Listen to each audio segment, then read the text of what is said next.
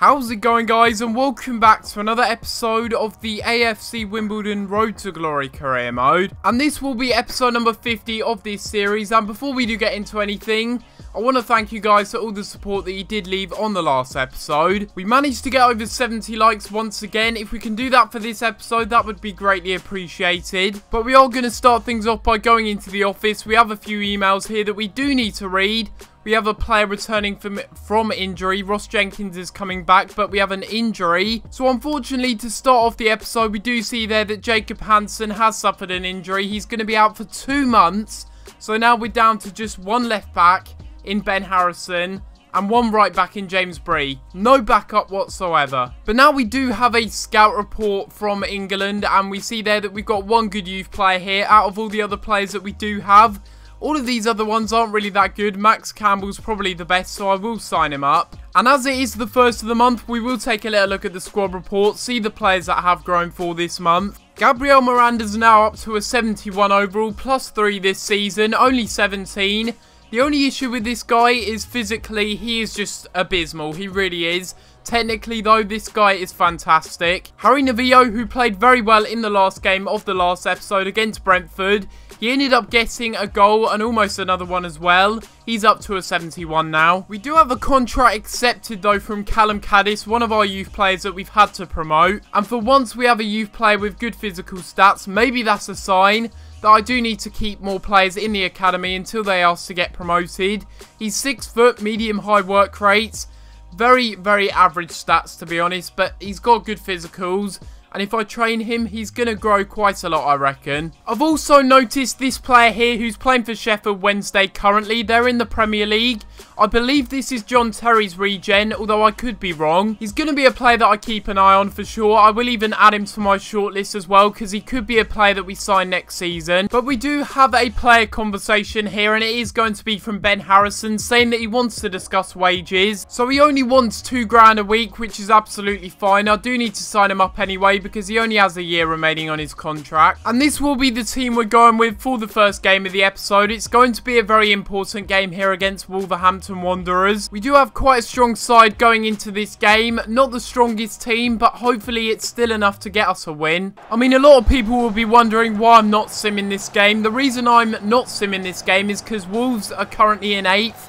They've got a really good chance to get into the promotion spots.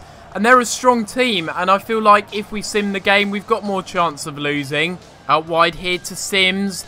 He cuts inside, he passes it off to Edwards.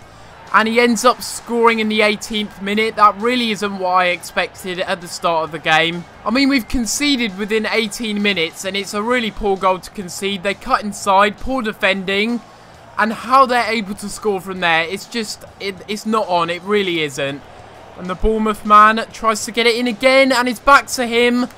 And surely he should have scored from there. His goal scoring pedigree in real life is so much better than that. And a free kick in a very good position here for us.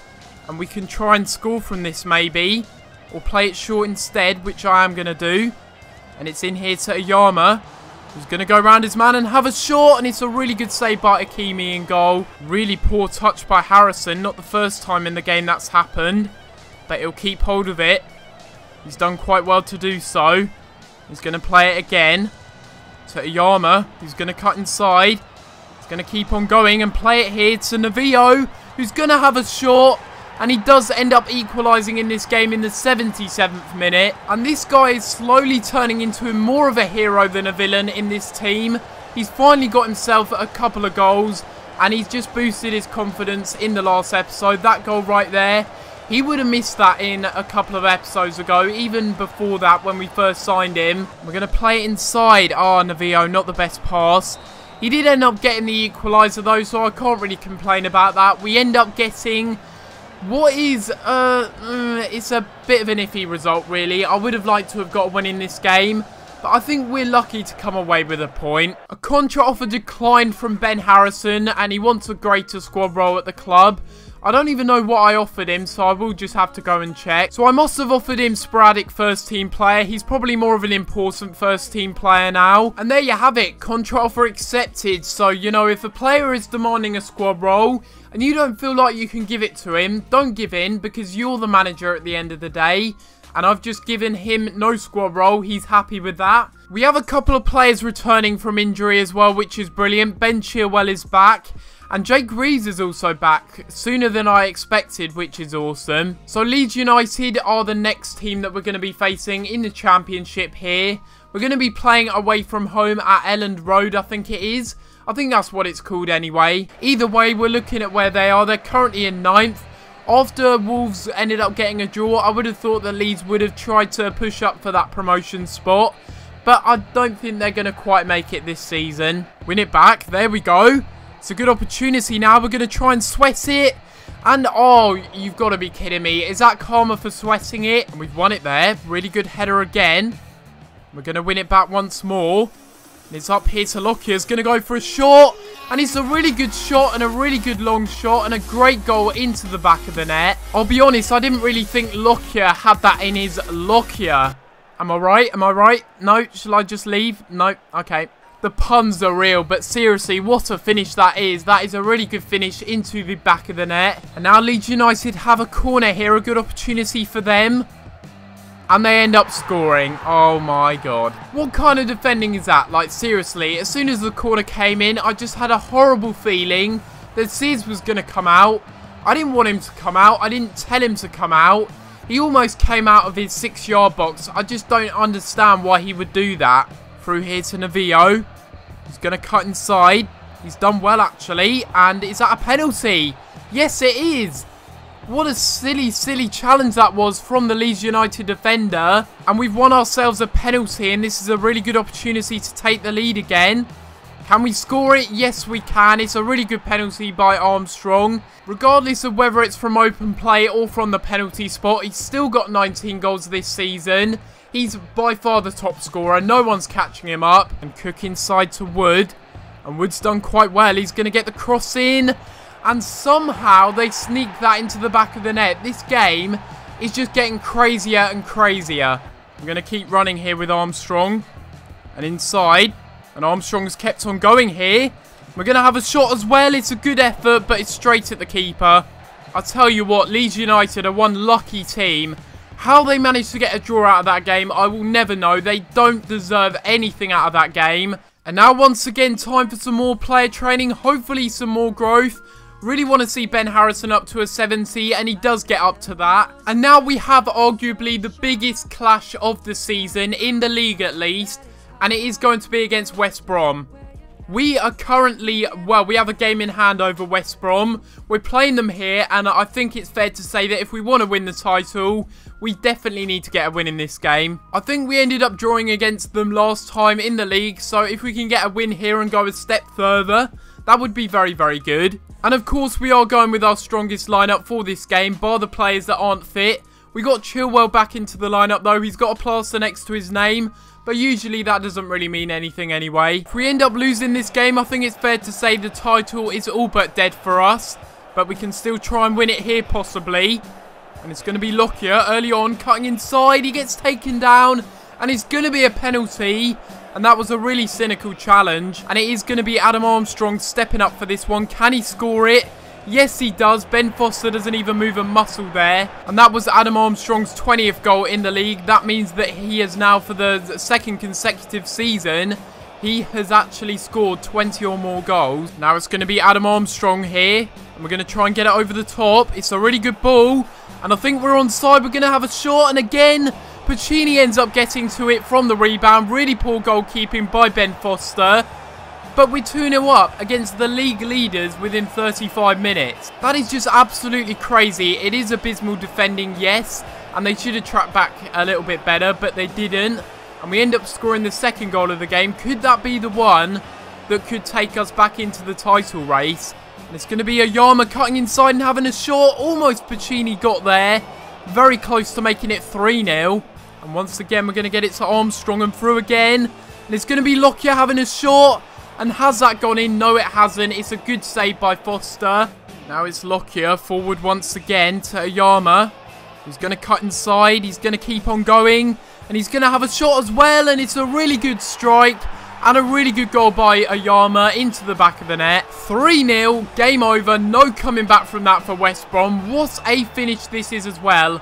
His trademark cutting inside, and then I think that's off the post actually.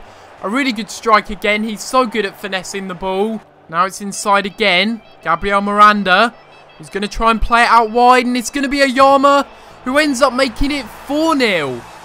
4-0. Four goals against the league leaders. And it's making West Brom look like they're in the relegation zone. Damn. I can't believe that. We've just won against the league leaders 4-0.